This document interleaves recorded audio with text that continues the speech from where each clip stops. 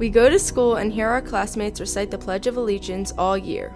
It seems that some have gotten tired of saying it. To them, the words have lost their meaning. It is time we look closer at the Pledge of Allegiance and what each word really means.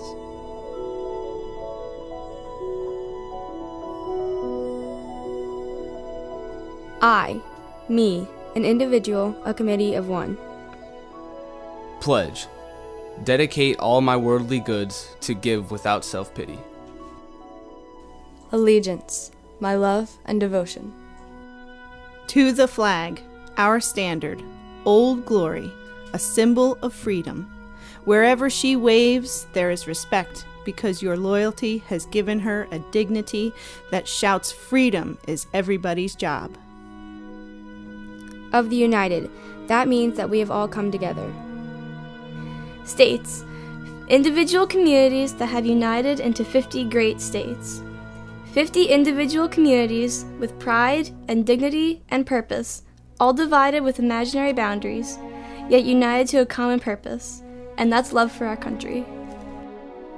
Of America and to the Republic, a state in which sovereign power is vested and representatives chosen by the people to govern and government is the people, and it's formed from the people to the leaders, not from the leaders to the people. For which it stands. One nation, united under one banner.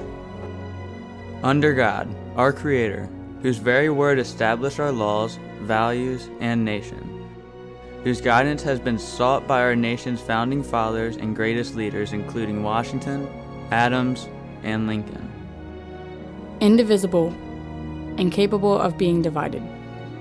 With liberty, which is freedom and the right of power to live one's own life without threats or fear or some sort of retaliation.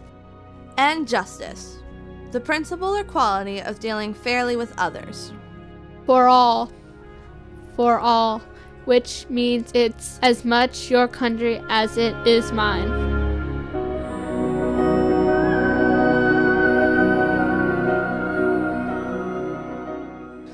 And now, ladies and gentlemen, would you please stand and join us in reciting the Pledge of Allegiance together?